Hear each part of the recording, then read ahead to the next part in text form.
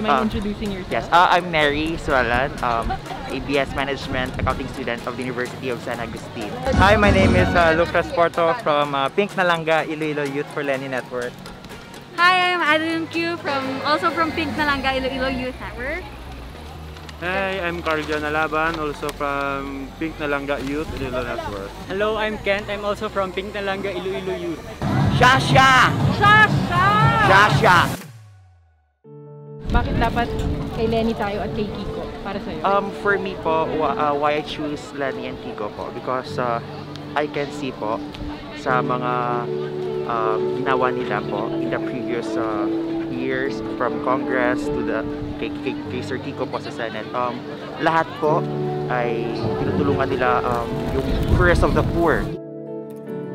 To show our support for them and also our future will be much more brighter with having them in our government for sure. I think uh, the Philippines needs decency back. And we need competent leaders who are accountable, transparent, and can lead uh, our country to a cliche, but it is what it is. We need to have better leaders uh, so that we can have a better future for ourselves and our next generations. siya ang gusto ko ang maging presidente ng Pilipinas na makikita talaga na sincero sa sa sa sa pagka-presidente. I'm Denise. Hi, I'm Darren. I'm Arn. I'm Justice. this election is very, I think, very pivotal for our country that I'm happy that young people like me really went out to register because I feel now more than ever that my vote is important. And that's why my vote is going for Lenny and Kiko. The past few years, you know, everything that's happened with the pandemic and all of this issues, like um, the importance of good governance couldn't be all the more highlighted. So that's why I'm voting for Lenny and Kiko because they have a proven track record, not just as politicians but as public servants. And you can see that they really want to help people. And I think that's really important when we're choosing our president and vice president. People who really have a passion to serve. So I'm voting for Lenin Kiko for a stronger democratic institutions and I'm my vote goes for them because they showed uh, good governance and uh, what Darren said, uh, their their track record says it all. Yeah, and I think we need to keep up with what's happening around us and I think Lenny and Kiko, uh, they are what we need right now. Again, calling the owner of motorcycle. Ma'am, I couldn't help but notice the to t-shirt you're wearing. Are you a doctor? Please Yes. point out Wow, your Doc, it's okay if I interview you about Lenny and Kiko and why Sure. why are you here? What why are you All out voting- support for Lenny, for our future, not for our, but for our children's future. Diba? We need to look, well, today is Feb 25. We need to know what happened before we decide today and pray for the, you know, for the, for tomorrow. Every one of us since last night, we were so excited that we cannot stop messaging each other. We have a group chat. You know how it is during pandemic, and she never uh, left us behind. She was also supportive, not only among doctors, but also everyone that needs our help. I just want to be here to show my support. Bayang magiliw, perlas ng silanganan, alab ng puso, sa dibdib mo'y buhay. Lupang hinirang, duyan ka ng magiting, sa manlulupig. Di ka pasisiil sa dagat at bundok, sa simoy at sa langit mong bughaw, may dilag ang tula at awit sa paglayang minamahal. Ang kislap ng watawat mo'y tagumpay na nagdidingding. Ang bituin at araw niya kailan pambay di magdidilim. Lupa ng araw ng luwalhati pagsinta.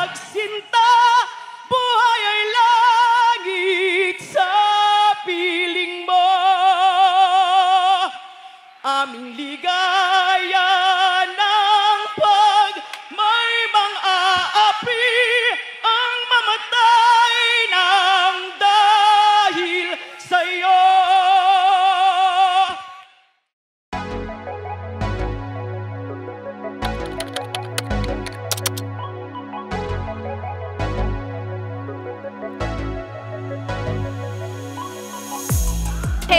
Mga Sharonians. Hello kay ate, which, who is also my ninang. And uh, I just miss her very much. And I miss her Sharonians also kasi pag may love si ate, love din nila yon. So thank you na love niyo din ako. Pag naging nanay ka, dun mo makikita na yung pagboto mo ay hindi na lang pala para sa sarili mo. It extends to the generations after you because whomever you put into place right now is actually someone that can make or break the future of your children. Hangang-hanga lang ako dun sa pagsagot niya sa tawag na ang hirap kasi ang laki-laki ng sakripisyo. So, siguro yun yung short of it. Marami pa akong masasabi pero baka vlog ko na to pag nangyari. Eh kuya naman, noon ko pa siya kilala na kuya ko siya kay ate. So, kitang-kita ko na na sabi ko nga kanina may mga kausap ako, alam mo yung nakakatuwa kay kuya. Hindi kasi siya salitang politiko pag nagsalita. Para siyang tito ko lang sa bahay. Na, ay, corny ng joke mo, kuya. Ganon. Pero ang cute, cute, cute. He just really wanted to serve the people. And that's what I really believe in, kuya. Plus the fact na, feeling ko ang cool niya talaga. Tuwang-tuwa lang ako na parang ang jugets-jugets niya lang talaga at saka forever siyang nakakatawa. Overall, I feel like there's also authenticity in him na I don't need to pretend and to even PR myself into this. I am who I am. What you see is what you get. And I like that. Hi! ah, hi po sa lahat ng Sharonians. Um, nandito kami ngayon sa Iloilo. Actually, nag-compete ako dito 17 years ago. So, um, kahit pagod, sobrang happy to be here. First time ko makita yung pool after so long. So, happy, yun nga, masaya talaga ako nandito. And gusto lang po salamat um, sa mga kaibigan po at mga sumusupport kay Miss Sharon. Salamat po sa pag-extend din ng pagmamahal ninyo kay Mama. So, tuloy lang po natin yung laban. Yun lang po. Ingat po tayong lahat. Hello sa mga Sharonians dyan, matanda or bata or mga katulad ko. Ayan, Ah, naniniwala ako na ang botohan na ito ay napakahalaga ngayon at sobrang essential. Ayun, yun yung masasabi ko. ah, dahil dito nakatayo next 6 years ng bunga buhay natin. Tulad ko, isa akong ah, bago ako boboto. This is my first time to vote. So, sa mga katulad ko ng mga first time voter, ah, vote wisely. When- I say wisely, vote for Lenny.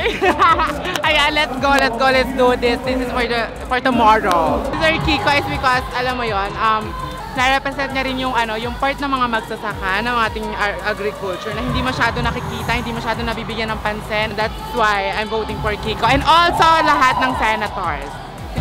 Laban na tayo, Lenny Kiko, for 2022! Lenny Kiko 2022 po. Ito po ang finger heart sa lahat ng Sharon. Yan sa boboto sa Lenny Kiko Tandem. Ayan, kudos sa inyo. Gusto ko kayo mamit lahat. Salamat sa inyong boto. Salamat sa inyo. Salamat sa buhay nyo.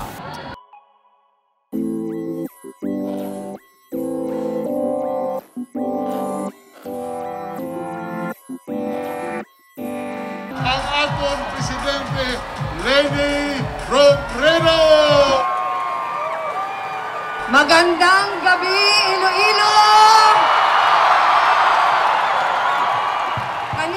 Kayo dito, pero ang energy level ay napakataas pa din.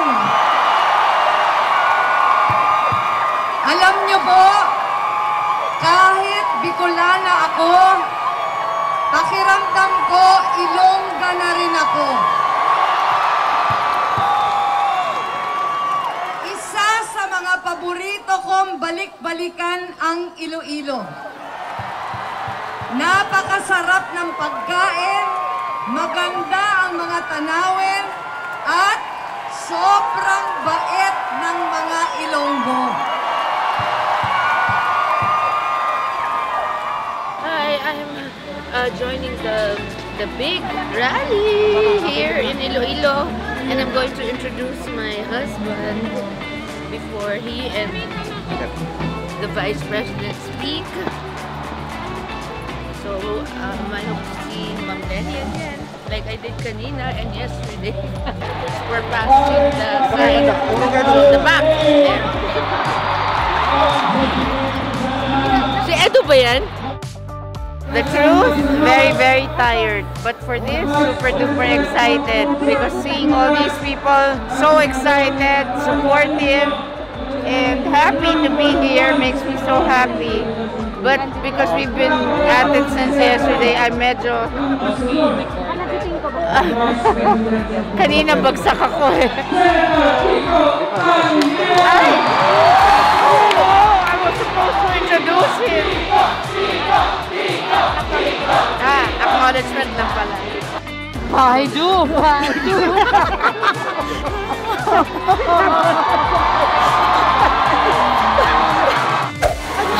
Picture tayo? Halika, halika! Kinikilig ka na sa inyo. Halika na.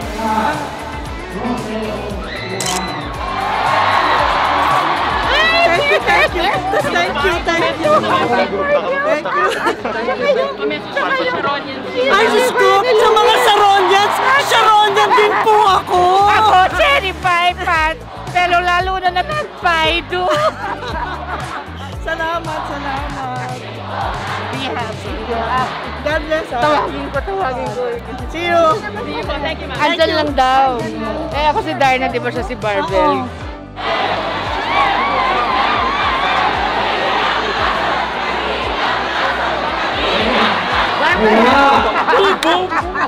I'm so happy. Bakit pawis ha? Sorry. pa- Ay, pawis. Kanina pa kami. Sabi niya kay Peter, may kapartner maluma. Kahit ang logo ah. Post ko yan.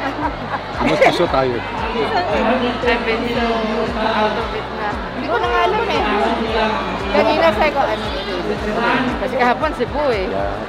Last ano, Tarlac. Pagbanda parang I'm too old for this. Been doing this for daddy since I was six. Yeah. And now for this one. That the energy thank you. Yeah, Grabe. one. Yes. Permission to post? Ah, Paano ba? Mga Sharonian, Paano ah, ba, Barbell?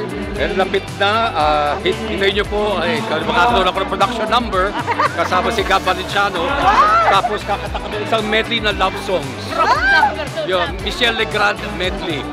Yung parang uh, Burt Bacharach tsaka Dionne Warwick. Ayun, ito naman eh si... Eh, andito ka duet mo. Ano, backup, backup dancer ko yan. Dolphy Panchito, tawag mo sa akin ako si Panchito. Dolphy Panchito! Ang kapal! I call you Panchito. Yes? I call you Punch. Punch lang.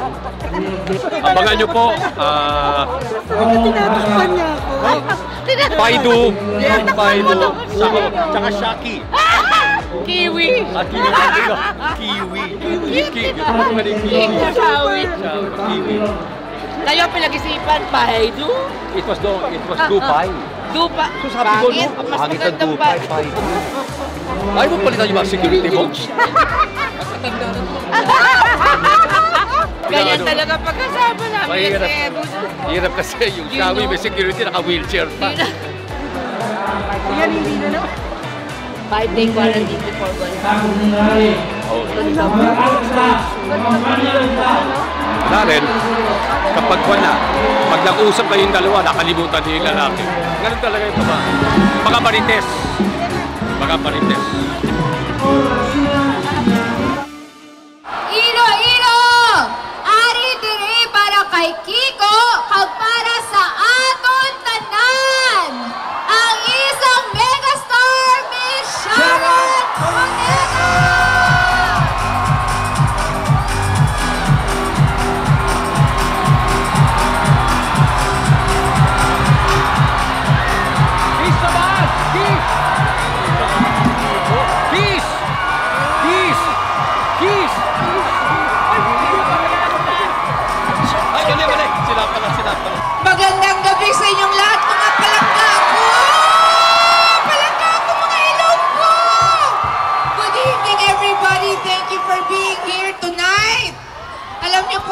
Nandito ako bilang kabiyak ng aking manok. Yan yung nasa gitna.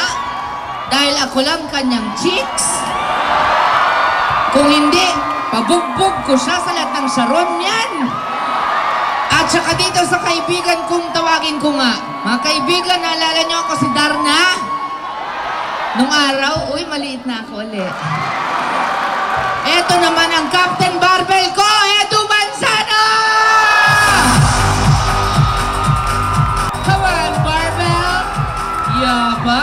May kalab team kasi.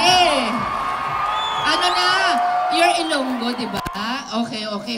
Um, I'd like to thank you for being here tonight, dudes. But we're all here for the same reason, di ba? We both are and we all are. What do you want to tell your kababayan? Noisling ko lang, ang hambal kagina ni Mayor Cherry Trenyas. Madaog kita. Madaog kit! Kay, ari si Captain Barbell, kag ari si Darna. Hindi kita maperte. Daog! Madaog!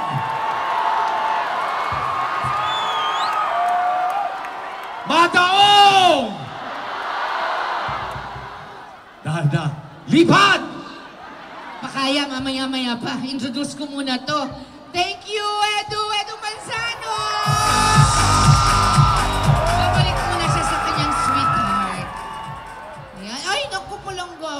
Ilonggo. Totoo, marami akong kaibigan dito. Tsaka masarap ang pagkain.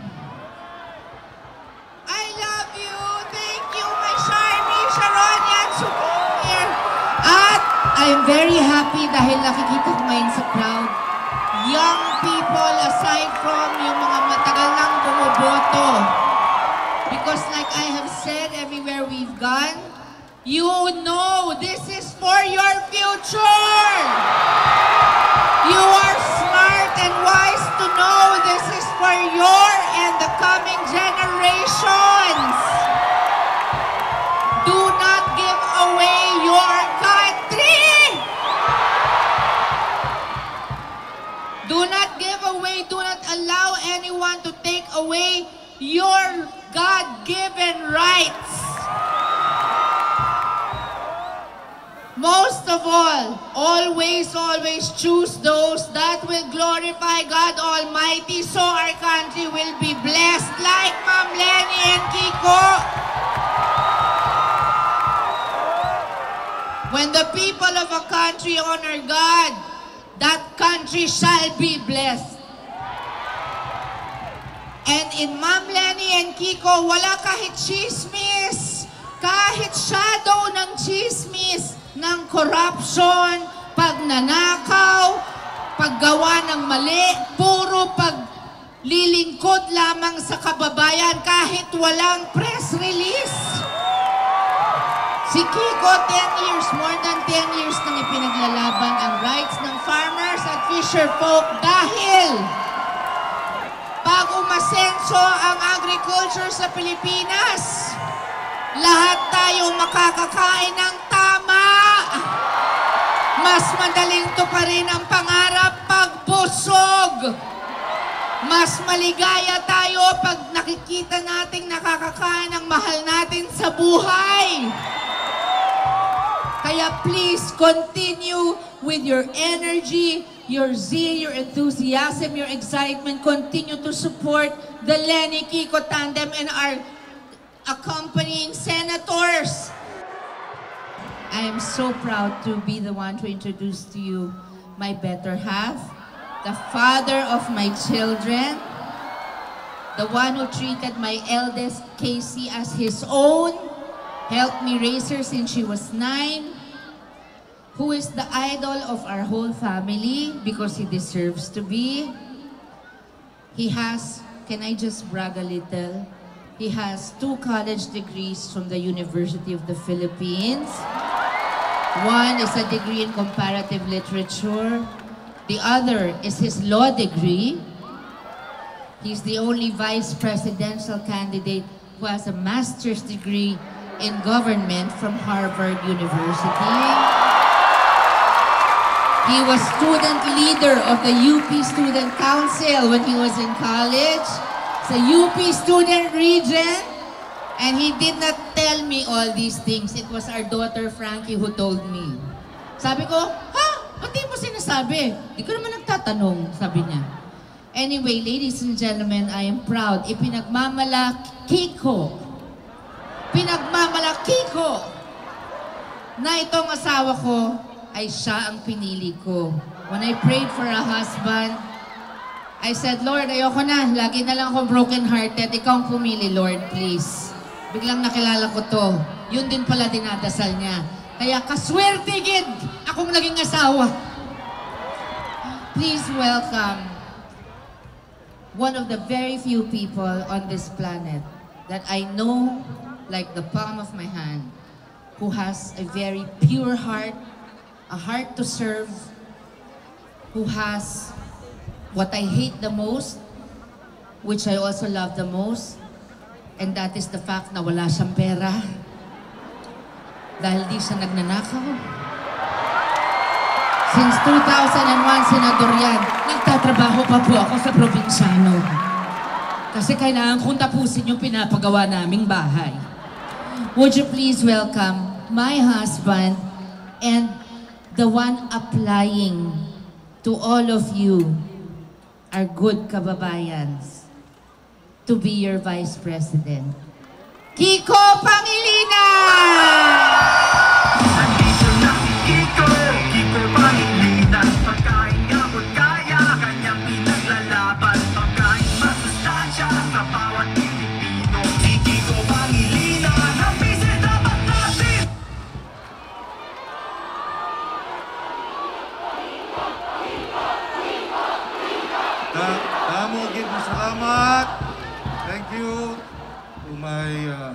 Sweetheart of 27 years. Maayong gabi sa akong pinalangga ng mga Ilonggo, mga Kasimanwa. Niligawan ko kayo, binigay niyo yung matamis yung oo at kinakailangan magtupad ako ng maayos, gawin ko ng maayos. Parang nung nakuha ko ang matamis na oo ni Sharon. 27 years na hindi ko siya pinabayaan. Talagang minahal ko siya ng lu- lubos. At ganun din. Pero sa totoo lang, ang aking pagkatao, senador man, asawa, ama, kapatid, iisa yan. Hindi ba, hindi iba. Pareho ang ating, ang mahalaga sa atin. Whether a husband, or a senator, or a father. Lahat, iisa lang ang dapat maging patakaran. Maging tapat. Maging totoo. Maging ah, matino. At gawin ang lahat para maging pinakamagandang, mahusay na senador, mahusay na asawa, mahusay na ama, mahusay na Pilipino. Kaya naman, ako ay nagpapasalamat sa pagkakataong ito. Hindi namin nakita ang ganitong kalaking pagtitipon ng suporta para sa Robredo Pangilinan Tandem. Dalhin na natin ang Iloilo. Dalhin na natin ang Republika sa mas magandang bukas. Sama-sama na tayong kumilos, manindigan, kasama ang mga leader na tapat at totoo at may prinsipyo at makakita na natin ang mga pangarap natin magkakatotoo na. Sa loob ng ilang taon, magsama-sama tayong kumilos. Mabuhay ang Iloilo! Mabuhay ang Republika ng Pilipinas. Maraming maraming salamat po. Damo na salamat Iloilo.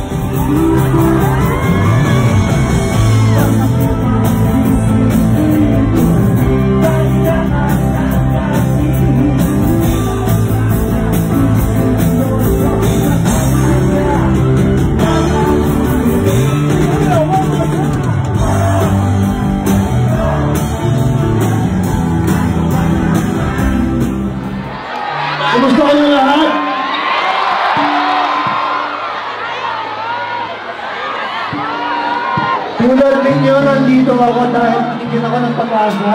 Lenny at Kiko. Naaangat na ang ating buhay at ang ating bansa. This song goes out to Vice President Lenny.